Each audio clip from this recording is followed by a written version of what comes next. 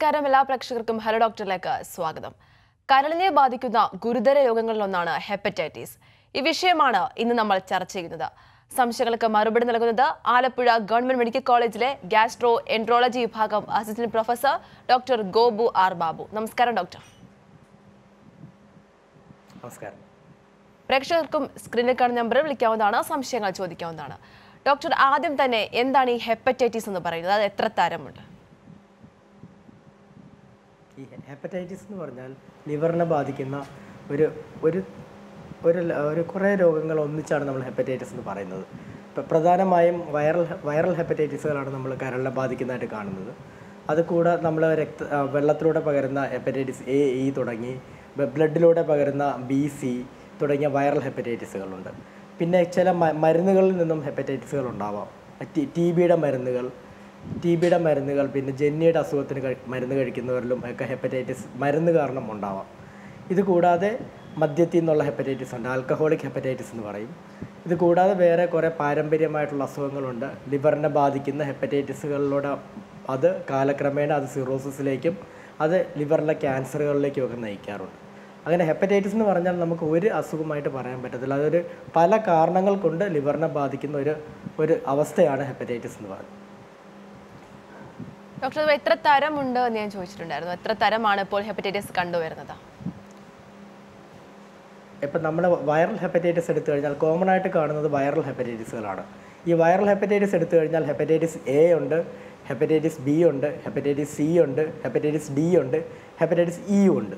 അപ്പോൾ എ തൊട്ട് ഇ വരെ നമ്മൾ പറയാറുണ്ടെങ്കിലും ഇന്നത് കോമൺ ആയിട്ട് നമ്മൾ നമ്മുടെ നാട്ടിൽ കണ്ടുവരുന്നത് ജലത്തിലൂടെ മത് ആഹാരത്തിലൂടെ പകരുന്ന എയും ഇയും പിന്നെ ബ്ലഡിലൂടെ പകർന്നു കിട്ടുന്നത് ബിയും ആണ്. ഇതിന ഇത് നാല് തരമാണ് നമ്മൾ കോമൺ ആയിട്ട് നമ്മളുടെ പ്രാക്ടീസിലും രോഗികളിലും കാണുന്നത്. അപ്പോൾ ഈ ഹെപ്പറ്റൈറ്റിസുകൾ നേരത്തെ കണ്ടുപിടിക്കുക. ചിലതൊക്കെ രോഗലക്ഷണങ്ങളോട് കൂടി തന്നെ ആയിരിക്കും നമ്മുടെ അടുത്ത് വരുന്നത് രോഗികൾ മഞ്ഞപ്പിത്തമായിട്ടൊക്കെ വരും. ചിലത് മഞ്ഞപ്പിത്തത്തിന്റെ ലക്ഷണങ്ങൾ വളരെ വളരെ അഡ്വാൻസ്ഡ് ആയിട്ടുള്ള സ്റ്റേജിലേ കാണിക്കാറുള്ളൂ രോഗികൾ അപ്പോൾ അതൊക്കെ നേരത്തെ കണ്ടുപിടിക്കാൻ പറ്റിയാൽ ഒരു പക്ഷേ നമുക്ക് ലിവറിലെ സ്ഥായിയായിട്ടുണ്ടാകുന്ന പല മാറ്റങ്ങളും. അതായത് കരൾ വീക്കം സിറോസിസ് ഹെപ്പറ്റോസെല്ലാർ ക്യാൻസർ ഇതൊക്കെ തടയാൻ തന്നെ പറ്റും. ഡോക്ടർ അതുപോലെ തന്നെ ഹെപ്പറ്റൈസ് ഹെപ്പറ്റൈറ്റിസ് നമുക്ക് എങ്ങനെ തിരിച്ചറിയാൻ സാധിക്കും? പിന്നെ അതുകൂടാതെ തന്നെ കരൾ തകരാറിലാകുമ്പോഴാണോ അത് കണ്ടെത്താൻ സാധിക്കുക?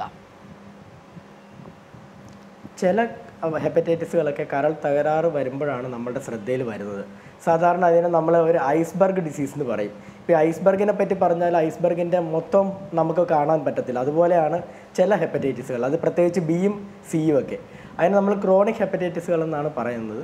അത് സാധാരണ രീതിയിൽ ചിലപ്പോൾ പേഷ്യൻസ് ഒക്കെ ചിലപ്പോൾ നമ്മുടെ എൽ എഫ് ടി ഒക്കെ ടെസ്റ്റ് ചെയ്യുമ്പം തുടർന്നുണ്ടാകുന്ന ടെസ്റ്റുകളിൽ നിന്നാണ് അവർക്ക് ഹെപ്പറ്റൈറ്റിസ് ബി ഉണ്ടെന്നും സി ഉണ്ടെന്നും ഒക്കെ അറിയുന്നത്.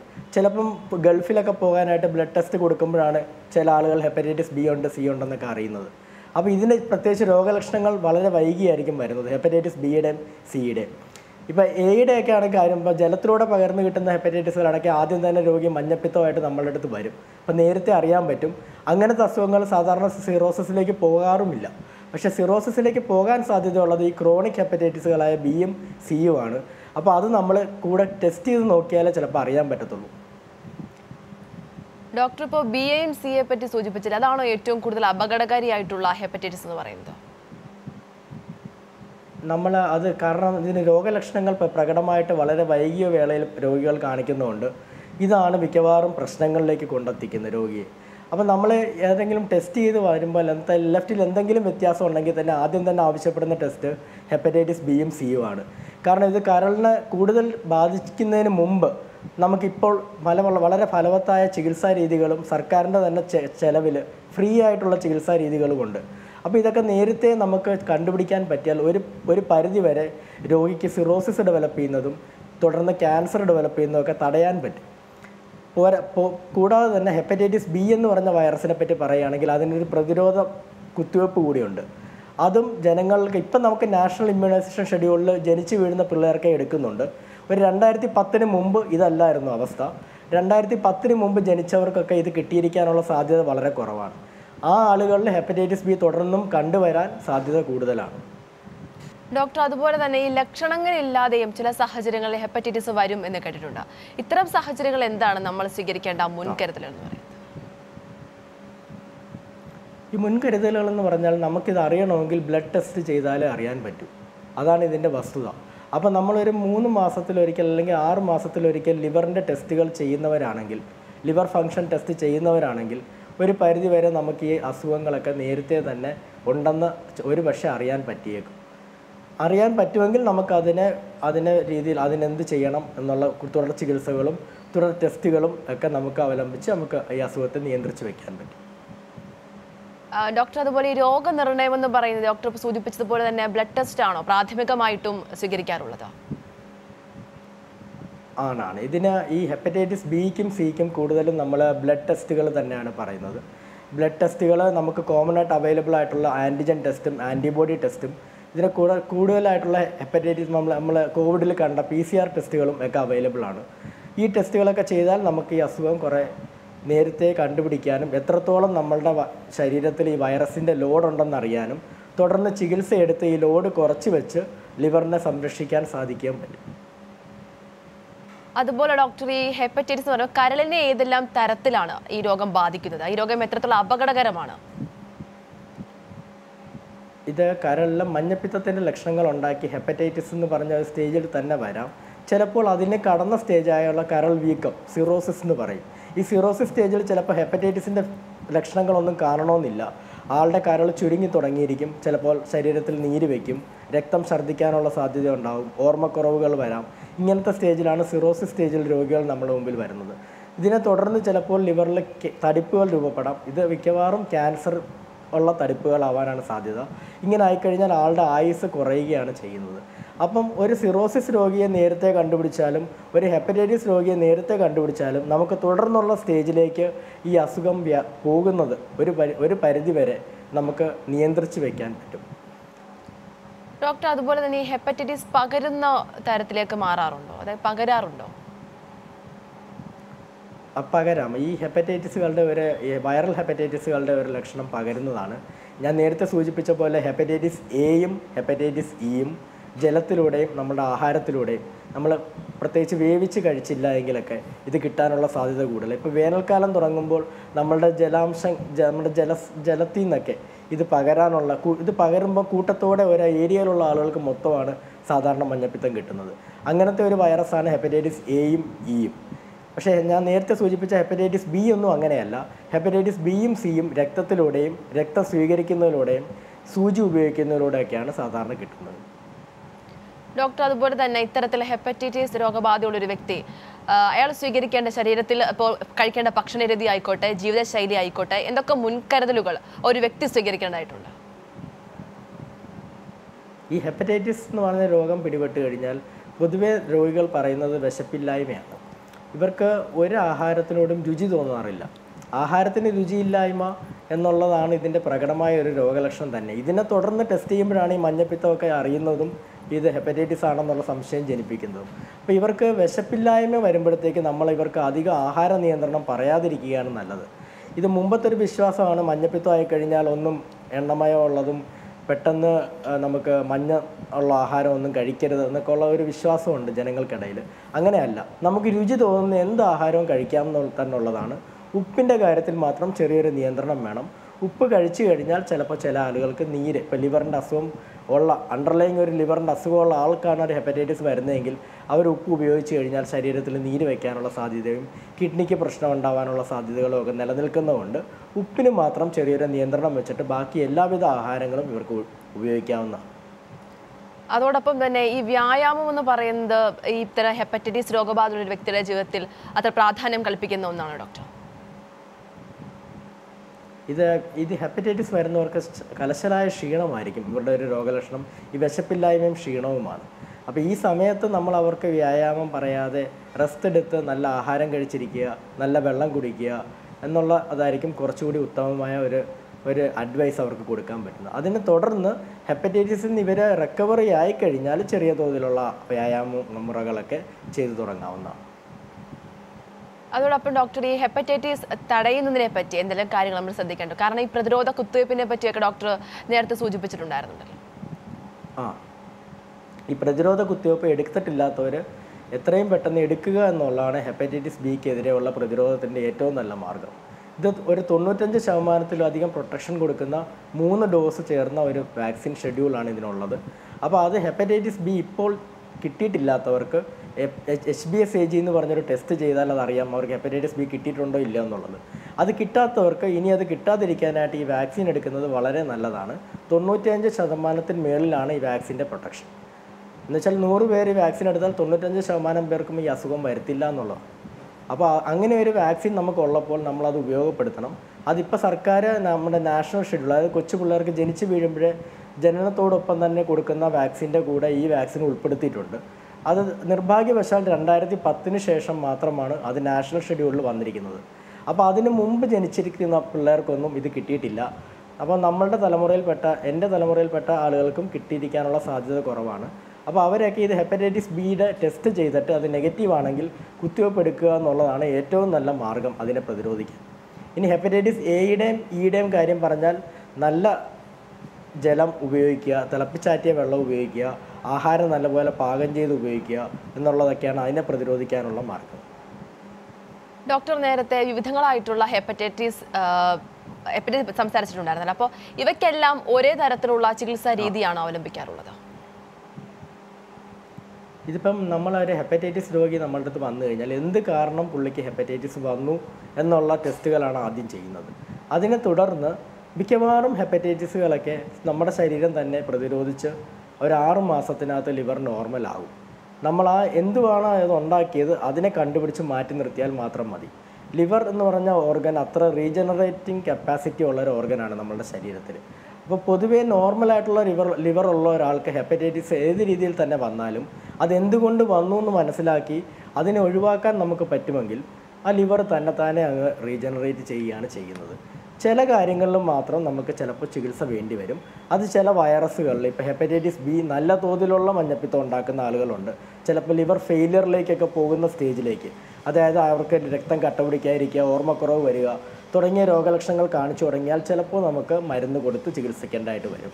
അല്ലാതെ എല്ലാ ഒരുമാതിരിപ്പെട്ട എല്ലാ ഹെപ്പറ്റൈറ്റിസും കാരണം അറിഞ്ഞ് നമുക്ക് ആ കാരണം പരിഹരിക്കാൻ പറ്റുമെന്നുണ്ടെങ്കിൽ എല്ലാ രീതിയിലും ഒരു മാസം കൊണ്ട് രോഗി പൂർണമായിട്ടും രോഗമുക്തരാകാറുണ്ട്. തിരികെ ഹലോ ഡോക്ടറിലേക്ക്. ഹെപ്പറ്റൈറ്റിസിനെ പറ്റിയാണ് ഇന്ന് ഹലോ ഡോക്ടർ ചർച്ച ചെയ്യുന്നത്. ഡോക്ടർ അതായത് ഈ ഒരു രോഗത്തിൽ സ്വയം ചികിത്സ എന്ന് പറയുന്നത് തികച്ചും അപകടകരമായിട്ടുള്ള കാര്യമല്ല. അത് മാത്രമല്ല ഈ ഒരു രോഗത്തെ പൂർണമായി നമുക്ക് ചികിത്സിച്ച് ഭേദമാക്കാൻ സാധിക്കുമോ? ഇത് സ്വയം ചികിത്സയെ പറ്റി പറയുമ്പോൾ ഞാൻ നേരത്തെ സൂചിപ്പിച്ചതുപോലെ ഇത് എന്തുകൊണ്ട് നമുക്ക് ഈ ഹെപ്പറ്റൈറ്റിസ് വന്നു എന്നുള്ള കാരണം മനസ്സിലാക്കാൻ പറ്റുന്ന ഒരാൾക്ക് ഇത് സ്വയം ചികിത്സ ചെയ്യാം. ഇപ്പം മദ്യം കൊണ്ടുണ്ടാവുന്ന ഹെപ്പറ്റൈറ്റിസ് ഉണ്ട്. അപ്പോൾ ആൾക്ക് നല്ല വിശ്വാസമുണ്ട്. ഞാൻ മദ്യപിക്കുന്ന ആളാണ്. ഞാൻ മദ്യപിച്ചാണ് എനിക്കിത് വന്നിരിക്കുന്നത്. എനിക്ക് വേറെ അസുഖങ്ങളൊന്നും വരേണ്ട കാര്യങ്ങളില്ല. അത്ര കോൺഫിഡന്റ് ആയിട്ട് ഒരു രോഗിക്ക് അത് പറയാൻ പറ്റുമെങ്കിൽ അയാൾ മദ്യം ഒഴിവാക്കി വെച്ച് കഴിഞ്ഞാൽ സിവിയർ സിവിയർ അല്ലാത്ത ഹെപ്പറ്റൈറ്റിസുകളൊക്കെ സാധാരണ രീതിയിൽ അങ്ങ് ശരിയാവും. അയാൾക്കൊരു വിശപ്പില്ലായ്മ ഒരു മഞ്ഞപ്പിത്തവും ഒക്കെ കാണും. അയാൾ മദ്യവും ഒഴിവാക്കി കുറച്ച് നാൾ റെസ്റ്റൊക്കെ എടുത്ത് വരുമ്പം അതങ്ങ് ശരിയാവും. തുടർന്ന് മദ്യപിച്ചാൽ വീണ്ടും ഈ അസുഖം വരും. അത് കൂടുതൽ ശക്തിയായിട്ട് കൂടുതൽ പ്രശ്നമുള്ള രീതിയിൽ തന്നെ ഈ അസുഖം വരും. മദ്യം കൊണ്ടുണ്ടാവുന്ന ഹെപ്പറ്റൈറ്റിസ് ആണ്. ബാക്കി വൈറസ് കൊണ്ടുവരുന്ന ഹെപ്പറ്റൈറ്റിസിനെക്കാളും പ്രശ്നക്കാരൻ. ഈ മദ്യം ഹെപ്പറ്റൈറ്റിസ് ഉണ്ടാക്കുന്ന അവസ്ഥയിൽ ആളുടെ ലിവറിന് എന്തെങ്കിലും ഒരു സ്ഥായിയായിട്ടുള്ള കേടുപാടുകൾ വന്നിട്ട് ശേഷമാണ് മദ്യം ഹെപ്പറ്റൈറ്റിസ് ഉണ്ടാക്കുന്നത്. അപ്പം മദ്യം കൊണ്ടുള്ള ഹെപ്പറ്റൈറ്റിസ് ഉള്ള രോഗികൾ സ്വയം ചികിത്സ ചെയ്യാമെങ്കിലും അവർക്ക് തോന്നുമെങ്കിലും അങ്ങനെയൊക്കെ അത് ചെയ്യാതിരിക്കുക. കഴിവതും ഒരു ഡോക്ടറുടെ നിർദ്ദേശപ്രകാരം മാത്രം ചികിത്സ ചെയ്യുന്നതാണ് ഈ ഹെപ്പറ്റൈറ്റിസ് രോഗങ്ങൾക്ക് നല്ലത്. ഡോക്ടർ ഒരു പ്രേക്ഷകൻ ചേരുന്നുണ്ട്. ശിവൻപിള്ളയാണ് തിരുവല്ലയിൽ നിന്നും. ശിവൻപിള്ള ഡോക്ടറോട് ചോദിക്കാം. Hello hello. ചോദിച്ചോളൂ. ഹലോ ചോദിച്ചോളൂ. എനിക്ക് ഡോക്ടർ നാല് കൊല്ലം മുമ്പ് ഇതുണ്ടായി. ഞാൻ ബിരിവേഴ്സ് ഹോസ്പിറ്റലിലെ ചികിത്സയിലായിരുന്നു. ഇപ്പം കംപ്ലീറ്റ് മാറി. ഞാൻ ഇടയ്ക്ക് ഇനി ടെസ്റ്റ് വല്ലതും ചെയ്യണോ എന്ന് വേണ്ടിയാണ് ഇത് ഏത് ഹെപ്പറ്റൈറ്റിസ് ആണ് നിങ്ങൾക്ക് വന്നിരുന്നു എന്നുള്ളതാണ്. ഇപ്പോൾ ഹെപ്പറ്റൈറ്റിസ് ബി ആണോ സി ആണോ എ ആണോ എന്ത് കാരണമാണ് നിങ്ങൾക്ക് ഹെപ്പറ്റൈറ്റിസ് വന്നു എന്നുള്ളതാണ്. ആ വന്ന സമയത്ത് നിങ്ങളുടെ ലിവറിന് കേടുപാടുകൾ ഉണ്ടായിരുന്നോ. അതോ കേടുപാടുകൾ മൊത്തം മാറുന്ന രീതിയിലുള്ള ഹെപ്പറ്റൈറ്റിസ് ആണോ എന്നുള്ളത്. ഇതിനകത്ത് എന്തെങ്കിലും രീതിയിൽ നിങ്ങൾക്ക് സംശയം ഉണ്ടെങ്കിൽ ഒരു എൽ എഫ് ടി ചെയ്യുക ഒരു അൾട്രാസൗണ്ട് സ്കാൻ ചെയ്യുക. ഇത് രണ്ടും ചെയ്തു കഴിഞ്ഞാൽ നമുക്ക് അവിടുന്ന് അവിടെ അവിടുന്ന് ആ പോയിന്റിൽ നിന്ന് പിക്ക് ചെയ്ത് പിന്നെ നിങ്ങളുടെ ഫോളോ അപ്പ് പറയാൻ പറ്റും. ശരി വ്യക്തമായെന്ന് കേട്ടു ഡോക്ടർ അതുപോലെ തന്നെ നേരത്തെ ഡോക്ടർ മദ്യം ഉപയോഗിക്കുന്നതിനെ പറ്റി സംസാരിച്ചിട്ടുണ്ടായിരുന്നു. അപ്പോൾ ഇത്തരത്തിൽ ഹെപ്പറ്റൈറ്റിസ് രോഗബാധയുള്ള ഒരു വ്യക്തിയാണ് മദ്യവും കഴിക്കുന്നത്. അതോടൊപ്പം തന്നെ പുകവലിക്കുകയും ചെയ്തു കഴിഞ്ഞാൽ അത് മരണത്തിലേക്ക് നയിക്കാനുള്ള സാഹചര്യമാകുമാണ് മദ്യം കൊണ്ടുള്ള ഹെപ്പറ്റൈറ്റിസിന്റെ പ്രശ്നം എന്താണെന്ന് വെച്ച് കഴിഞ്ഞാൽ അതിന് നമുക്ക് ഈ പറയുന്ന ഒരു മരുന്ന് ഇല്ല. ഹെപ്പറ്റൈറ്റിസ് ഹെപ്പറ്റൈറ്റിസിന് മദ്യത്തിന്റെ മറുമരുന്ന് എന്ന് കൊടുക്കുക എന്ന് പറഞ്ഞാൽ അത് അങ്ങനെ ഒരു സംഭവമില്ല. അപ്പോൾ നമ്മൾ അങ്ങനെയുള്ള രോഗികളുടെ അടുത്ത് പറയുന്നത് നിങ്ങൾ മദ്യം ഒഴിവാക്കുക നല്ല രീതിയിലുള്ള ആഹാരം കഴിക്കുക നല്ല റെസ്റ്റ് എടുത്തിരിക്കുക. സാധാരണ രീതിയിൽ നേരത്തെ പറഞ്ഞ പോലെ നമ്മളുടെ ലിവർ ഒരു ആറ് മൂന്ന് മാസത്തിലോ അല്ല ആറ് മാസം കൊണ്ട് ഇത് നോർമലാവും അതിന്റെ ഇടയ്ക്ക് കരളിനെ ബാധിക്കുന്ന രീതിയിലുള്ള ഒരു പ്രവൃത്തിയും പുള്ളിയുടെ ഭാഗത്തുനിന്ന് ഉണ്ടാവാൻ പാടില്ല. അതുകൂടാതെ തന്നെ നമ്മൾ ഈ വേറെ വൈറസുകളുടെ പ്രസൻസ് ഒന്നും പുള്ളിയുടെ ബോഡിയിലില്ല പാരാസെറ്റമോൾ വേദന സംഹാരികൾ ഗുളികകൾ തുടങ്ങിയ മരുന്നുകളുണ്ട്. ലിവറിനെ ബാധിക്കുന്ന മരുന്നുകൾ. ഇതൊന്നും ഈ രോഗി ഉപയോഗിക്കാനും പാടില്ല. നല്ല ആഹാരം കഴിക്കുക വൃത്തിയുള്ള ആഹാരം കഴിക്കുക നല്ല വെള്ളം കുടിക്കുക നല്ല റെസ്റ്റ് എടുത്തിരുന്നാൽ ഇത് ഒരു ഇത് നമുക്ക് നോർമലാക്കി കൊണ്ടുവരാൻ പറ്റും. തുടർന്ന് പുള്ളി മദ്യം ഉപയോഗിക്കുകയോ ചെയ്യരുത്. മദ്യവർജനമായിരിക്കണം പുള്ളിയുടെ ജീവിതത്തിൽ പിന്നെ അങ്ങോട്ട് ഡോക്ടർ ഒരു പ്രേക്ഷകനുണ്ട്. കണ്ണൂരിൽ നിന്നും ഹരിയാണ്. ഹരി ഡോക്ടറോട് ചോദിക്കാം. ഫാറ്റി ലിവർ എന്ന് അതിന്റെ സെക്കൻഡ് സ്റ്റേജ് എന്താ? ഫാറ്റി ലിവർ ഫാറ്റി ലിവർ ഹെപ്പറ്റൈറ്റിസിന് മുമ്പത്തെ ഒരു ആ ഫാറ്റി ലിവർ എന്ന് വെച്ച് കഴിഞ്ഞാൽ ലിവറിനകത്ത് കൊഴുപ്പടിയുന്നൊരവസ്ഥയാണ്. അത് ഈ ഹെപ്പറ്റൈറ്റിസിന് മുമ്പത്തെ ഒരു സ്റ്റേജാണ് അത് പല അസുഖ പല രോഗലക്ഷണമുള്ളവരിൽ വരാം. മദ്യപിക്കുന്നവരിൽ കാണാറുണ്ട്. മദ്യപിക്കാത്ത ഷുഗർ രോഗികളിലും പ്രഷറുള്ള പ്രഷറിന്റെ അസുഖമുള്ളവരിലും ഡിസ്ലൈപ്പിഡീമിയ എന്ന് പറയും. അതായത് കൊളസ്ട്രോൾ അസുഖമുള്ളവരിലും തൈറോയിഡിന്റെ അസുഖമുള്ളവരിലും ചില മരുന്നുകൾ ഉപയോഗിക്കുന്നവരിലൊക്കെ നമ്മൾ ഫാറ്റ് ലിവർ കണ്ടുവരാറുണ്ട്. ഈ ഫാറ്റ് ലിവർ സ്റ്റേജ് ഗ്രേഡൊക്കെ പറയുന്നത് അൾട്രാസൗണ്ട് വെച്ചിട്ടാണ്. ഈ അൾട്രാസൗണ്ടിൽ grade one grade two grade three എന്നൊക്കെ പറയാറുണ്ട്. ഈ ഗ്രേഡിനെക്കാളും നമ്മൾ ശ്രദ്ധിക്കേണ്ടത് ഫാറ്റ് ലിവറിനെ തന്നെയാണ് ഏത് ഗ്രേഡ് ആയിക്കോട്ടെ ഈ ഫാറ്റ് ലിവർ ആറ് മാസത്തിനകത്ത് നമ്മളുടെ ലിവറിൽ നിന്നും മാറിപ്പോകുന്നില്ല എങ്കിലും അത് ലിവറിലേക്ക് കേടുകൾ വരുത്താനും ലിവർ സിറോസിസിലേക്ക് ഒരു ശതമാനം ആളുകളിലേക്ക് എത്തിപ്പെടാനും സാധ്യതയുണ്ട്. അപ്പോൾ നമ്മൾ ഈ ഫാറ്റി ലിവർ കാണുമ്പോൾ ഇത് എന്ത് കാരണം ഫാറ്റി ലിവർ വന്നു? അമിതവണ്ണം ഉള്ളവരിൽ കാണാറുണ്ട്. അപ്പം അതിന്റെ സാധാരണ രീതിയിൽ നമ്മൾ പറയുന്ന പത്ത് ശതമാനം ബോഡി വെയിറ്റ് കുറയ്ക്കുക അങ്ങനത്തെ ആളുകൾ. ഈ ഒരു ആറ് മാസ കാലയളവിൽ അവരുടെ ഒരു പത്ത് ശതമാനം ബോഡി വെയിറ്റ് കുറയ്ക്കുന്ന കാര്യങ്ങൾ. അത് ആഹാര നിയന്ത്രണമാകാം വ്യായാമമാകാം. അങ്ങനെ പിന്നെ ഈ പറഞ്ഞ അസുഖങ്ങൾ വല്ലതും ഉണ്ടോ എന്നുള്ളത് കൺട്രോൾ ചെയ്യുക. മദ്യപാനം ഉണ്ടെങ്കിൽ അത് നിർത്തുക. വേറെ മരുന്നുകൾ ഇപ്പോൾ സോഡിയം വാൽപ്രോയേറ്റ് അങ്ങനത്തെ മരുന്നുകളൊക്കെ ഉണ്ട് ജെന്നിക്കൊക്കെ വേണ്ടി കഴിക്കുന്നത് അങ്ങനത്തെ മരുന്നുകളൊക്കെ ഉപയോഗിക്കുന്നവരാണെങ്കിൽ അത് ആ മരുന്ന് മാറ്റി വേറെ മരുന്നിലേക്ക് മാറുക. അങ്ങനെയൊക്കെ ചെയ്തു നോക്കിയാൽ ആറ് മാസം കൊണ്ട് ഫാറ്റ് ലിവർ നമുക്ക് മാറ്റിയെടുക്കാൻ പറ്റേണ്ടതാണ്. മാറ്റിയെടുക്കാൻ പറ്റുന്നില്ല എങ്കിൽ അതിന് ഡീറ്റെയിൽഡ് ആയിട്ടുള്ള ഇവാലുവേഷൻ വേണ്ടി വരും. ശരി വ്യക്തമായി നോക്കിയത് ഡോക്ടർ അതുപോലെ തന്നെ വിവിധങ്ങളായിട്ടുള്ള ഹെപ്പറ്റൈറ്റീസ് ഉണ്ട്. അപ്പോൾ ഇവയ്ക്കൊക്കെ കണ്ടുവരുന്ന ലക്ഷണങ്ങൾ അവയെല്ലാം സമാനമായിരിക്കുമോ? മിക്കവാറും എല്ലാ ഹെപ്പറ്റൈറ്റിസിന്റെ രോഗലക്ഷണങ്ങൾ മഞ്ഞപ്പിത്തം ഈ പറഞ്ഞ ക്ഷീണം വിശപ്പില്ലായ്മ ഇതൊക്കെ തന്നെ അപ്പം ഏത് ഹെപ്പറ്റൈറ്റിസ് ഇപ്പോൾ ഡ്ര മരുന്നുകളിൽ നിന്ന് വരുന്ന ഹെപ്പറ്റൈറ്റിസ് ഉണ്ടെന്ന് പറഞ്ഞു. അതിനകത്ത് ഈ പ്രോഡ്രോം എന്ന് പറയുന്ന ഈ ക്ഷീണം വിശപ്പില്ലായ്മ ഇതൊന്നും വരണമെന്നില്ല. മരുന്ന് ഉപയോഗിച്ചു രണ്ട് മൂന്ന് ദിവസം കഴിയുമ്പോൾ പെട്ടെന്ന് മഞ്ഞപ്പിത്തം വരുന്നു. ഈ ടി ബി അസുഖത്തിന്റെ മരുന്നുകൾ ഉപയോഗിക്കുന്നവരിൽ ഇത് സാധാരണ കണ്ടുവരാറുണ്ട്. ആ ഒരു കണ്ടീഷൻ നമ്മൾ ആ ടി ബിയുടെ മരുന്ന് ലിവറിനെ ബാധിക്കുന്ന മരുന്നുകളൊക്കെ നിർത്തി വെച്ചിട്ട് വേറെ മരുന്നുകൾ തുടങ്ങേണ്ട അവസ്ഥയിൽ തുടങ്ങും. ഇല്ലാത്തവർക്ക് മരുന്ന് സ്റ്റോപ്പ് ചെയ്തിട്ട് ഒബ്സർവ് ചെയ്ത് കഴിഞ്ഞാൽ തന്നെ ഇവർ റിക്കവർ ചെയ്യാറുണ്ട്. അല്ലാതെ ഈ വൈറസിന്റെ കൊണ്ടുള്ള മഞ്ഞപ്പിത്തങ്ങളിൽ ഈ ക്ഷീണം വിശപ്പില്ലായ്മ പ്രോഡ്രോം എന്ന് പറയും. ഈ പ്രോഡ്രോം കഴിഞ്ഞിട്ടാണ് ഇവർക്ക് ഈ മഞ്ഞപ്പിത്തം ജോണ്ടീസ് ആയിട്ട് വരുന്നത്. അത് മൂത്രത്തിൽ കടുത്ത നിറം കണ്ണിന് മഞ്ഞപ്പ് എന്നൊക്കെ പറഞ്ഞുകൊണ്ട് നമ്മളുടെ ഇത് വരും. L F T liver function test ചെയ്യുമ്പോൾ അതിനകത്ത് bilirubin കൂടിയിരിക്കും. S G O T S G P ടിയിലൊക്കെ വ്യത്യാസങ്ങൾ കാണും. ചിലർക്ക് എ എൽ പിയിലും എ എൽ പി എന്ന് പറയാം. ആൽക്കലൈൻ ഫോസ്ഫറ്റേസിനകത്തൊക്കെ ചെറിയ വ്യത്യാസങ്ങൾ വരും. അപ്പോൾ അത് ഇതെന്ത് കാരണം ഇത് വന്നു എന്നുള്ള ബാക്കി ടെസ്റ്റുകൾ ചെയ്യും. വൈറസിന്റെ ടെസ്റ്റുകൾ ചെയ്യും. ഇവരുടെ ഡ്രഗ്സിന്റെ ഹിസ്റ്ററിയൊക്കെ നമ്മൾ റീഅസസ് ചെയ്യും. ഇവരുടെ ആഹാര രീതികൾ എങ്ങനെയായിരുന്നു? ഇവരുടെ വേറെ എന്തെങ്കിലും മരുന്നുകൾ ഇവർ ഉപയോഗിക്കുന്നുണ്ടോ? ഇവർക്ക് എന്തുകൊണ്ട് വന്നു എന്നുള്ളത് കണ്ടുപിടിക്കാൻ ശ്രമിക്കും. കണ്ടുപിടിച്ച് ഇത് പരിഹരിക്കാൻ നോക്കുകയാണ് ചെയ്യുന്നത്. ഡോക്ടർ ഒരു പ്രേക്ഷകൻ ചേരുന്നുണ്ട്. കാസർഗോഡ് നിന്ന് ബിജു ആണ്. ബിജു ഡോക്ടറോട് ചോദിക്കാം. ഹലോ നമസ്കാരം ഡോക്ടറെ. ഹലോ.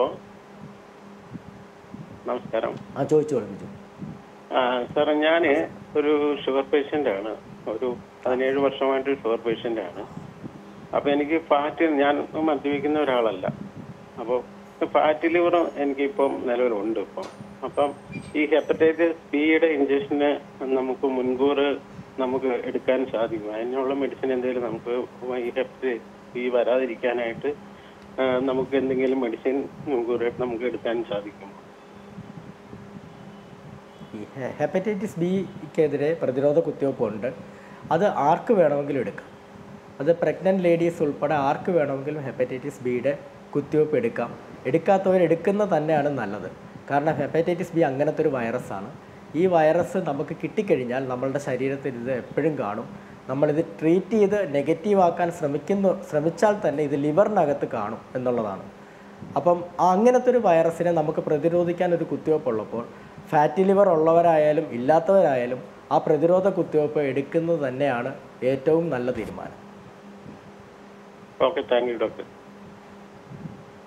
ശരി വ്യക്തമായിരുന്നു. ഡോക്ടർ അതുപോലെ തന്നെ ഈ കുട്ടികളിൽ ഉണ്ടാകുന്ന കുട്ടികളിൽ ഈ രോഗം കണ്ടുവരികയാണെങ്കിൽ അവർക്കുണ്ടാകുന്ന ബുദ്ധിമുട്ടുകൾ എന്തൊക്കെയാണ്? അത് അതോടൊപ്പം തന്നെ കുട്ടികളിൽ ഇതൊരു സർവസാധാരണമായ ഒരു കാര്യമാണ്? കുട്ടികളിലെ ഹെപ്പറ്റൈറ്റിസ് ബിയും സിയും ഒക്കെ വളരെ അപൂർവമായിട്ട് നമ്മൾ കാണാറുള്ളൂ കൂടുതലായിട്ടും എയും ഇയും ഒക്കെ വരാറുണ്ട്. അത് കുറേ കൂടി ഒരു അഞ്ച് വയസ്സ് ആറ് വയസ്സിലൊക്കെയാണ് നമ്മൾ കൂടുതലായിട്ട് കാണുന്നത്. ഇപ്പം കുട്ടികളിൽ വരുന്ന മഞ്ഞപ്പിത്തം എന്ന് വെച്ചാൽ ജനിച്ച ഉടനെ വരുന്നൊരു മഞ്ഞപ്പിത്തമുണ്ട്. ഫിസിയോളജിക്കൽ ജോണ്ടീസ് എന്ന് പറയും.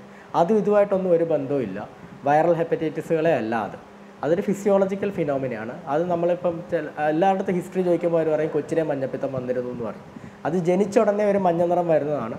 അത് സാധാരണ രീതിയിൽ കണ്ടുവരുന്നതാണ്. പേടിക്കേണ്ട രീതിയിലുള്ള മഞ്ഞപ്പിത്തവും അല്ല അതിനെ തുടർന്ന് ഒന്ന് ഒരു ഒരു ഒരു വയസ്സൊക്കെ രണ്ട് വയസ്സൊക്കെ കഴിഞ്ഞ് ചില പിള്ളേരിൽ മഞ്ഞപ്പിത്തം കാണാറുണ്ട്. അത് ഈ പറഞ്ഞ വെള്ളത്തിൽ നിന്നുള്ള മഞ്ഞപ്പിത്തമാണ് കൂടുതലായിട്ട് നമ്മൾ കണ്ടുവരുന്നത്. അത് വന്നു കഴിഞ്ഞാൽ സാധാരണ രീതിയിൽ നമ്മൾ ഇവർക്ക് ഈ പറഞ്ഞ സിംറ്റമാറ്റിക് ട്രീറ്റ്മെന്റാണ് കൊടുക്കുന്നത്. സിംറ്റമാറ്റിക് ട്രീറ്റ്മെന്റ് ഛർദിലുള്ളവർക്ക് ഛർദിലിന്റെ മരുന്ന് അല്ലാതെ ആവശ്യപ്പില്ലായ്മയൊക്കെ ആണെങ്കിൽ ചിലപ്പോൾ ഡ്രിപ്പൊക്കെ ഇടേണ്ടി വരും ചിലപ്പോൾ ഫ്ലൂയിഡൊക്കെ ഇടേണ്ടി വരും. അങ്ങനെയൊക്കെ അവരൊന്ന് ഫോളോ അപ്പ് ചെയ്ത് ഒരു സിംറ്റമാറ്റിക് മാനേജ്മെന്റ് ചെയ്താൽ ഇവർ സാധാരണ റിക്കവർ ചെയ്യാറുണ്ട്. പിന്നെ ചില കാര്യങ്ങളിൽ പിള്ളേരിലെ മഞ്ഞപ്പിത്തം ചില ചില എൻസൈം ഡിഫക്റ്റ് കാരണമോ അല്ലെങ്കിൽ ചില വേറെ എന്തെങ്കിലും പ്രത്യേക പ്രശ്നങ്ങൾ കൊണ്ടോ ഒക്കെ വരാം. അത് അങ്ങനെയുള്ള മഞ്ഞപ്പിത്തങ്ങൾ നമ്മളിങ്ങനെ മാനേജ് ചെയ്താൽ ശരിയാവത്തില്ല. ഡീറ്റെയിൽഡ് ആയിട്ടുള്ള ഇവാലുവേഷൻ വേണ്ടി വരും. അത് ചുരുക്കം കേസുകളിലെ വരാറുള്ളൂ. ശരി ഒരു പ്രേക്ഷകൻ ചേരുന്നുണ്ട്. അബ്ദുൽ ഖാദർ ആണ് അബ്ദുൽ ഖാദർ ഡോക്ടറോട് ചോദിക്കാം. ഊരന്റെ മനസ്സ് ഭാഗത്ത് ഒരു വേദന ഉണ്ട് അപ്പൊ അത് കിഡ്നിയോട് ബന്ധപ്പെട്ടാണോ എന്താണെന്നുള്ളത് അറിയില്ല. ഇന്നലെ ഡോക്ടർ കാണിച്ചിട്ട് മരുന്നൊക്കെ വാങ്ങി കഴിച്ചു